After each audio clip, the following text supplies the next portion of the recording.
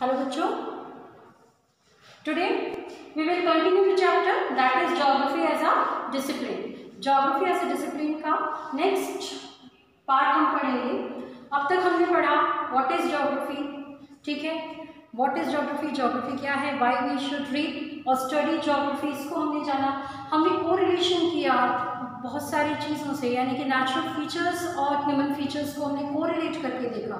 हमने देखा before the earlier period primates period how people were over dependent over the nature okay now come to the next topic today we are going to read geography as a social science discipline geography as a social science discipline It means we all students belongs to the humanities and humanities is the part of the social science and if we are connecting geography with the social science, we must know how it is the subject of social science.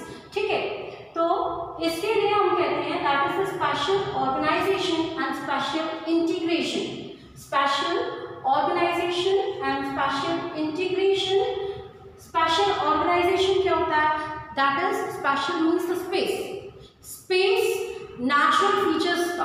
There is a special हम किस concern में geography को social science describe कर रहे हैं as concern with spatial organisation and spatial integration it means the nature and the bonding of humans किस तरीके से हम उनको कोरिलेट करते हैं? For this cause we can take the example that is we have to know the three sets of question to know why we call geography as a social science discipline? ठीक है? हम क्यों कहेंगे इसको? तो three sets of questions for us are first question what what questions natural सी बात है हाँ what what related to geography geography में अगर हम आइडेंटिफाइड करते हैं, हम आइडेंटिफाइड करते हैं the patterns of natural and cultural features यानी कि what type of natural features are there किसी भी जगह में नेचुरल फीचर्स कैसे हैं? नेचुरल फीचर्स कहीं पे माउंटेन्स हैं, कहीं पे प्लेन्स हैं, कहीं पे प्लेट्यूज हैं, कहीं पे डेजर्ट्स हैं, कहीं पे ओशनिक एरिया है, कहीं पे स्नो स्नो वाला एरिया है। तो ये क्या है इनके? नेचुरल फीचर्स हैं। And that natural features how the people living there the cultural features are associating with the natural features यानी कि what type features are there. What type of features are there of humans as well as the natural? ठीक है? हम दोनों features को किसी भी special वे में हम स्पेस के वे में हम ये जानेंगे कि वहाँ पर किस तरीके का क्लाइमेट है? वहाँ पे नेचुरल फीचर्स कैसे हैं? और वो नेचुरल फीचर्स कैसे हैं? What type of natural features are there और what type of humans are there यानी कि what type of humans in concern with the spatial natural features ठीक है सेकंड सेकंड क्वेश्चन हमारे लिए आता है वेयर यानी कि where are such kind of natural feature और द कल्चरल फीचर्स ज्योग्राफी में definitely what then where we must know the location ठीक है? We must know the areas ठीक है? तो that is the distribution of natural and cultural features distribution of natural and cultural features कहाँ पर natural features ये located है? हम हमेशा जोग्राफी में बात करते हैं ना we always use the maps जब भी हम किसी चीज़ को स्टडी करते हैं we must follow the map we must the location of that area which अगर the topics we are reading so it will be helpful to us so here we are not talking about the map but we are talking about the location on the world over the earth where the places are तो हमारे लिए second question that is where the distribution of natural and cultural features are there third question जब हमारे what और where को एक scientific reason uh, मिलता है that is the another question we have why why means अगर कोई जगह है तो वो क्या जगह है? वो जगह है तो कहाँ पर है? कहाँ है तो उनके बीच में ये रिलेशन क्यों है? मीन्स अगर कोई ठंडी जगह पर रहता है तो उसका लिविंग कंडीशन ऐसा क्यों है? हम जाकर जम्मू कश्मीर वाले को बोले, अरे तुम क्या हो पूरे टाइम जो है ये ऐसे भारी भारी कपड़े पहनते रहते हो? तो क्यों पहनते रहते हैं? रीजन क्या देंगे? Because all through the year they feel compared to the us who are living in Rajasthan. Rajasthan और जम्मू कश्मीर या उत्तराखंड या हिमाचल प्रदेश उनका क्लाइमेटिक कंडीशन हम लोगों से वेरी करता है।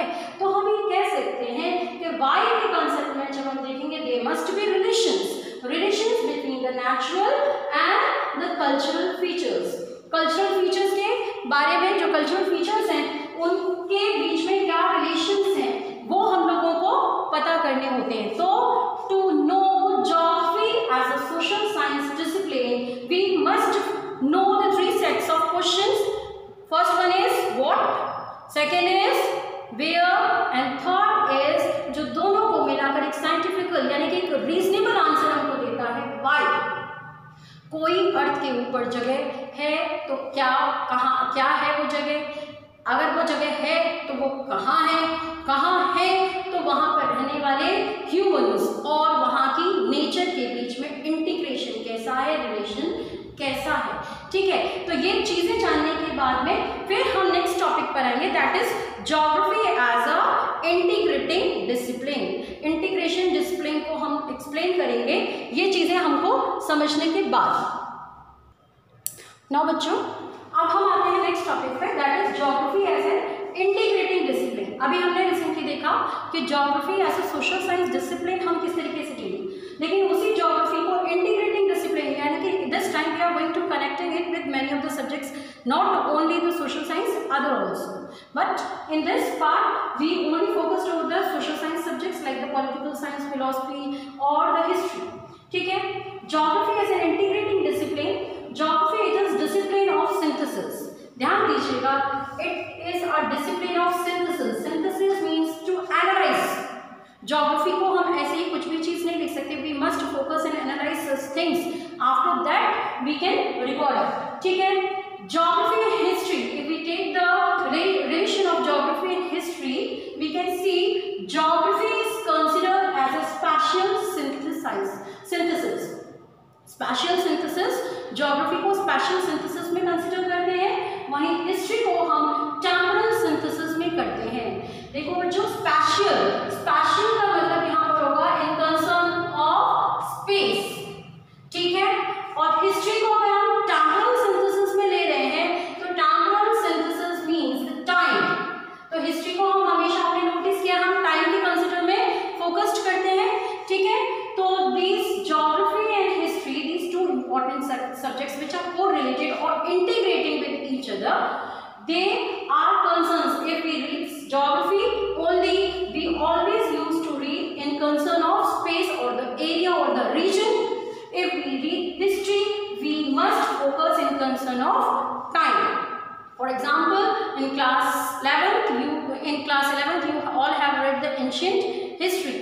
ठीक है? तो आप लोग जो पढ़ रहे हैं एज अ एंशियंट हिस्ट्री जो international ancient history and up to the modern history आप उसका पूरा फ़ेज़ पढ़ रहे हैं। तो ये हम क्यों बताते हैं कि जब भी हम हिस्ट्री शुरू करते हैं हम एक फ़ेज़ लेते हैं उसका है ना? क्लास टेंथ में आप लोग पढ़कर आए हैं कंटेम्प्रेरी इंडिया हिस्ट्री तो उसमें आप लोगों ने कंटेम्प्रेरी वर्ल्ड की जो कुछ सर्कमस्टांसेस देखे हैं how the nationalisation has been adopted तो वो सभी किस कंसर्न में थे? कंसर्न ऑफ़ टाइम ठीक है?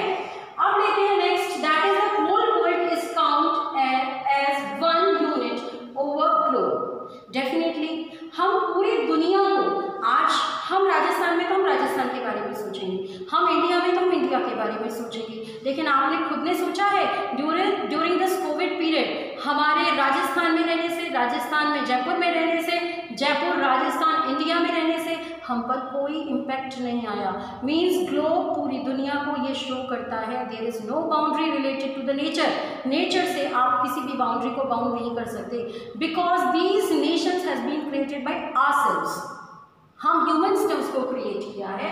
तो here the world is completely count as one unit in that unit we can see many changes at present दुनिया में इतने changes wide variety of changes we can see global period में अगर हम बात करें एट प्रेजेंट तो we can see many changes like the transportation system has also been change communication system has also been change recently we all are connecting with these the दूसरे से जुड़ पा रहे हैं, वरना हमारा कनेक्शन खत्म हो जाना था ड्यू टू दिस कोविड तो these are the changes which we are seen this time so these are the important one now influence subjects how geography geography के कारण कुछ सब्जेक्ट्स इन्फ्लुएंस होते हैं, यानी कि उसका इम्पैक्ट जोग्राफी का दूसरे सब्जेक्ट पर भी। जब भी हम जोग्राफी पढ़ते हैं, तब तो हमें समझ में आता है कि हाँ पढ़ रहे हैं। तो क्या दूसरे सब्जेक्ट्स भी कहीं ना कहीं हमारे जोग्राफी से कोरिलेट करते हैं? और क्योंकि हम अभी सिर्फ़ सोशल साइंस सब्जेक्ट्स के बिहाफ पर बोल रहे हैं तो अगर हम कहें फिलोसफी फिलोसफी के बारे में हम कहें कि philosophy is the thoughts of some wise people philosophy एक सोच लोगों की। जैसे क्लास टेंथ में, आप लोगों ने क्लास टेंथ में क्लास नाइन्थ में बहुत सारे थिंकर्स के बारे में भी पढ़ा था। Take the case of class ninth ठीक है? उसमें आप लोगों ने फ्रेंच रेवोल्यूशन में रूसो ठीक है? रूसो जॉन लॉक मॉन्टेस्क्यू इनके बारे में पढ़ा because they were the philosophers और इनकी philosophy was the responsible to spark the French revolution अगर ये लोग नहीं होते तो लोगों के दिमाग में नहीं आता। तो फिलोसफर्स के बिहार पर अगर हम जोग्राफी को कनेक्ट करें, यानी कि जोग्राफी का उससे रिलेशन देखें तो yes yet also they are having a relation with geography philosophy का रिलेशन जोग्राफी के साथ भी निकल कर आता है। हाउ क्योंकि जोग्राफी के जो थॉट्स हैं, ठीक है? जैसे स्टार्टिंग में हमने कहा जोग्राफी वर्ड किसने इस्तेमाल किया? एक ग्रीक फिलोसफर थे। उन्होंने इस्तेमाल किया। उनका नाम था इरेक्टोस्थनीस इरेक्टोस्थनीस ने इस्तेमाल किया तो वॉज़ अ फिलोसफर उसने कई चीज़ें, कई थॉट्स रखे। कुछ स्कॉलर्स ने बाद में उसको डिफाइन किया। जैसे उन्होंने कहा कि it is a description of earth so many people get agree got agree with him and they also describe as geography as the description of earth it was it, it is a home of humans in concern of humans and the physical nature we read the geography ठीक है तो this is the philosophy part and this philosophy part is connected with your geography also ठीक second आते हैं history history के concern में देखिए बेटा देश जितना बड़ा है देश का जो हिस्ट्री है वो कहीं ना कहीं जोग्राफी से करता है। अगर हम पीछे जाकर देखें कि भारत में अपने एक स्पेसिफिक ड्यूरेशन के टाइम में लोग अराइव करते रहे। इंडिया में सबसे पहले अगर हम कहें तो इंडस वैली सिविलाइजेशन सेटल्ड हुए, यानी कि हम आर्यंस सेंट्रल एशिया से मूव होकर आए। ठीक है? सेकेंडली फिर वो इंडस सिविलाइजेशन किसी ना किसी नेचुरल रीज़न के कारण ख़त्म हो गया। Next the arrival of the central Asian जो इस्लामिक कंट्रीज़ के रिप्रेजेंटेटिव्स थे उन्होंने आना शुरू करा तो सवाल उठता है कि वो कहाँ से आए और कैसे आए? ठीक है तो कहाँ से आए? वो सेंट्रल एशिया से आए। किस तरीके central Asia middle east Asian country से आए? तो वो कैसे आए? By the land route how the land route was responsible जो हिमालय है, वहाँ पे पासिस हैं बहुत सारे। तो via these passes they arrive in India so this this is how while reading history are connecting with geography also. We must know the area, we must know the location. जो हमारे question थे, what, where and why? ठीक है? अगर भारत में मैं कहूँ Muslims आए क्वेश्चन होता है वाई क्यों आए? कैसे? क्यों आए? क्योंकि उन लोगों को रास्ता मिला। तो वेयर कहाँ से? सेंट्रल एशिया से। तो ये चीज़ें हमको जोग्राफी से कंसर्न करती हैं। Third that is the political science political science at present हम कहें कि हमारे देश की अपनी पॉलिटिकल बाउंड्रीज हैं। और हर पॉलिटिकल बाउंड्री में जैसे हमने we define the divide the country into the states और स्टेट की हर पॉलिटिकल बाउंड्री हमने सेटअप पॉलिटिकल बाउंड्री हमने सेटअप की वहाँ पे कोई आपको रास्ता या तारबंदी या कोई दीवार नहीं लगी होती कि जहाँ से राजस्थान खत्म होता है, गुजरात शुरू होता है, वहाँ एक दीवार शुरू हो जाती है। एज सच कुछ भी तो नहीं होता, लेकिन वो हमने फिगर आउट कर रखा यानी कि इंसान ने खुद ने ज़मीन को अपने हिसाब से बांटा है।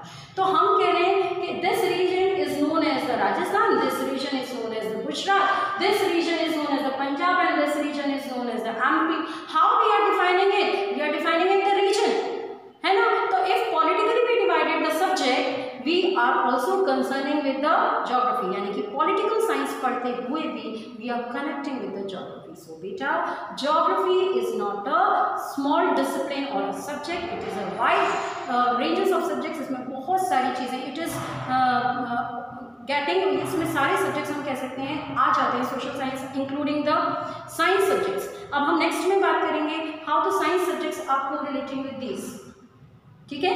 इस, यहाँ तक आप लोगों को समझ में आ गया होगा। ठीक है? नेक्स्ट वीडियो में हम आगे काम करेंगे।